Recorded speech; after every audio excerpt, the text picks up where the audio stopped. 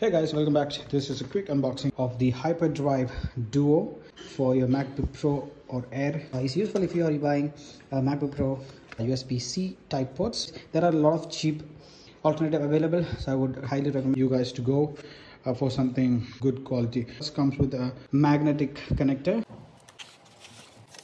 an HDMI port, Type-C. One supports 100 watt pass through charging, support 60 watt pass through charging and this one has a micro SD card slot and a mini SD card slot. So I have a type A USB 3.0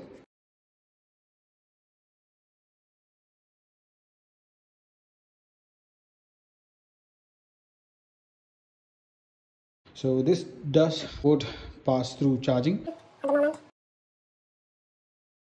Uh, if you have any questions or any concerns, do let me know in the comment section below. Peace out.